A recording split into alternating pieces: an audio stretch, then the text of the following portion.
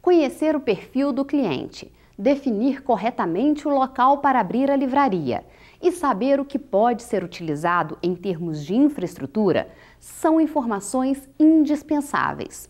Entretanto, como acontece em qualquer empreendimento comercial, o sucesso de uma livraria não depende somente disso. É muito importante também implementar medidas administrativas apropriadas, desenvolver campanhas de marketing e adotar estratégias comerciais que juntas contribuirão para o sucesso da livraria. Com isso, espera-se que a sua loja se estabilize comercialmente em menos tempo e que se torne referência para os clientes de um bairro, de uma cidade ou até mesmo de uma região.